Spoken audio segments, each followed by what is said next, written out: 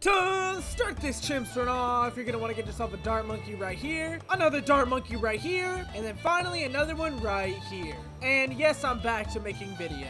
Get yourself a 101 Ninja Monkey right here, and then place Obyn down right here. Upgrade your Ninja Monkey into double shot, get yourself a 320 Alchemist right here, upgrade your Ninja into a Bloonjitsu, and then get a 200 Village right here before the MOAB on round 40. And on round 40, you might have to use Obyn's Bramble, so I just recommend using them. Upgrade your Alch into a stronger stim, and upgrade this village into a 202.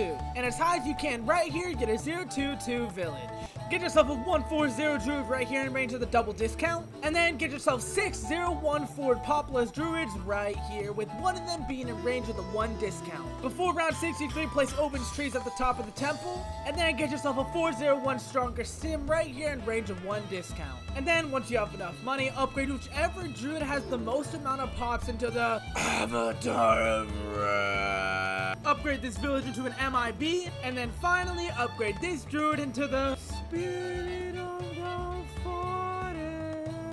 Then you should absolutely demolish the BAD, getting yourself a nice and easy chimps medal.